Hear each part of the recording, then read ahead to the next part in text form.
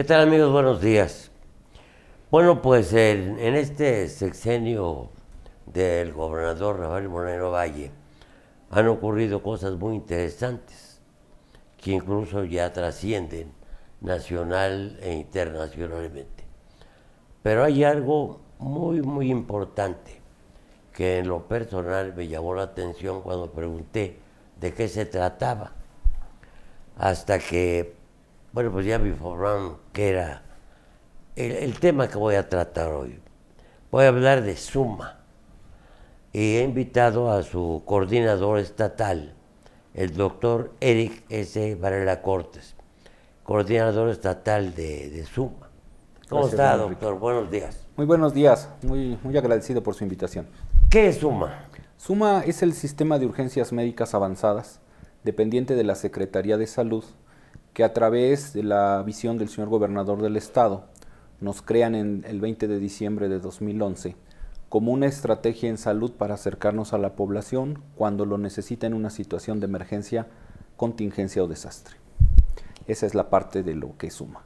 SUMA está integrado por una parte de operaciones de emergencia, una parte de atención en ambulancias, atención en desastres, ambulancia aérea y una parte de prevención de accidentes. ¿Quién financia Suma? A SUMA lo, lo financia la Secretaría de Salud a través del gobierno del Estado. ¿Y cómo empezó?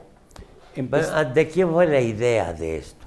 Eh, con esta nueva administración eh, eh, se nos pidió que presentáramos proyectos novedosos que pudieran beneficiar a la población.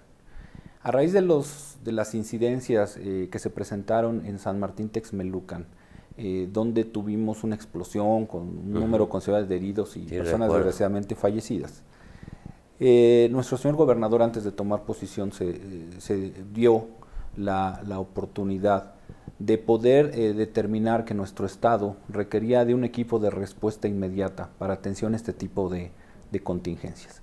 Por tal motivo, este proyecto se, se lo presentó su servidor, donde integrábamos la parte de atención de emergencias médicas prehospitalarias junto con la respuesta médica hospitalaria. De esta manera podíamos responder de inmediato ante cualquier contingencia. El paciente es atendido desde el momento del incidente, se regula a través de un órgano que se encarga de distribuir emergencias para que el paciente llegue seguro y atendido a una unidad médica donde pueda ser atendido y este, rehabilitado hacia el final. Bueno, fundamentalmente Suma sirve al público. Así es, es un gente. servicio gratuito. Basta con llamar al 066 Así es.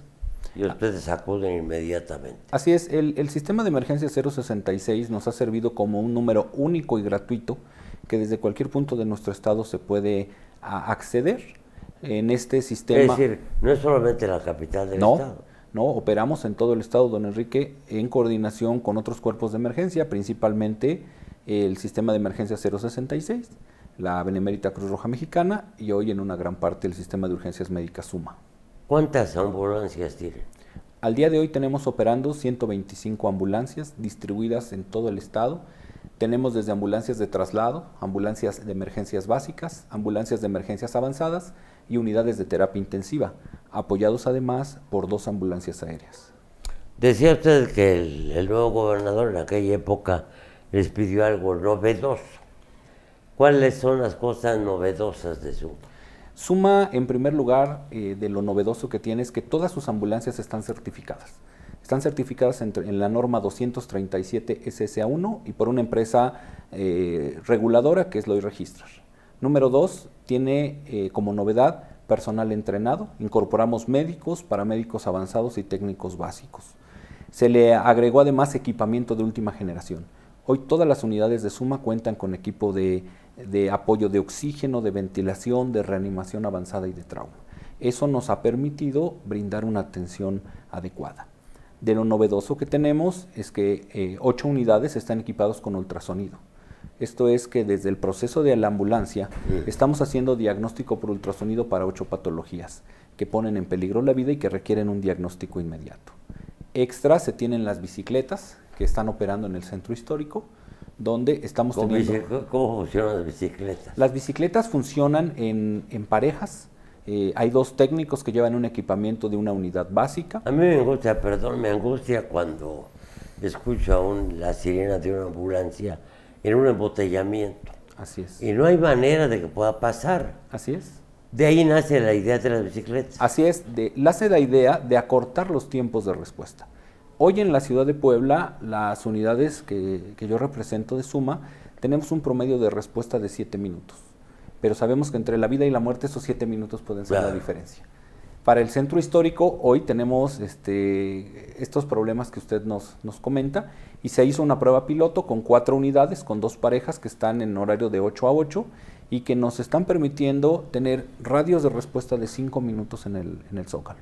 Hoy le puedo decir que en estas casi cuatro semanas de operación llevan cubiertos alrededor de casi ya 100 servicios de emergencia. Esto nos permite también hacer una clasificación adecuada del paciente y determinar quién sí requiere traslado, quién sí requiere que llegue una ambulancia, pero mientras ya está recibiendo la atención. Ahora, ¿qué, lleva el que conduce las bicicletas? Lleva en un- pareja. Llevan en pareja un equipo de trauma, un botiquín de primera respuesta, llevan equipo de, de ayuda ventilatoria, oxígeno y un desfibrilador. Otra de las emergencias que tenemos es el, infarto, y el infarto puede presentarse en cualquier lugar. Es por eso que tanto las bicicletas como las ambulancias todas vienen equipadas con un desfibrilador que nos permite actuar de una manera inmediata cuando se presenta este problema grave de que el paciente cae fulminado por un infarto. Eh, el, el personal bien entrenado puede identificar estas patologías y se enlaza a través de radiotelefonía al centro de emergencia 066, donde tenemos un médico 24 horas para poder orientar, ayudar y regular para derivar al paciente a los centros hospitalarios de la Secretaría de Salud o cualquier otra unidad médica. Me decía que otra, otra novedad, por ejemplo, llegar a un lugar donde hubo un accidente con varios heridos, Así es. y llegan y montan una, una carpa. Así es.